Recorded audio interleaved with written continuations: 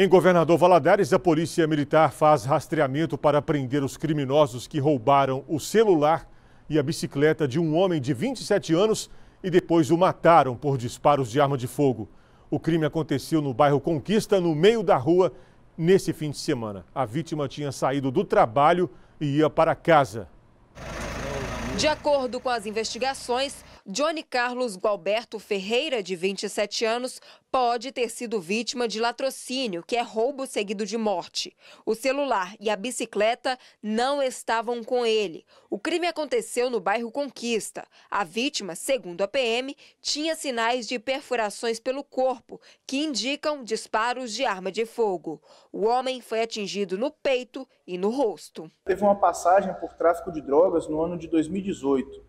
Porém, tudo leva a crer que esse, essa morte não tem a ver com esse crime ou com outro envolvimento dele no, no mundo do crime. É, tendo em vista aí que foi levado do mesmo um celular e uma bicicleta, é, levando a crer assim que tenha sido um roubo seguido de morte. Quando os militares chegaram ao local, encontraram o homem caído no meio da rua. O SAMU foi acionado. O médico constatou a morte. De acordo com a PM, a vítima estava uniformizada, tinha saído do trabalho e seguia para casa. Depois, os parentes descobriram que a foto do perfil no celular estava modificada e quem atendeu a ligação dava gargalhadas. Quem tiver qualquer informação que leve à captura dos suspeitos, é, por favor, ligue 190 ou 181, que é o Disque Denúncia Unificado, onde o sigilo da informação é preservado.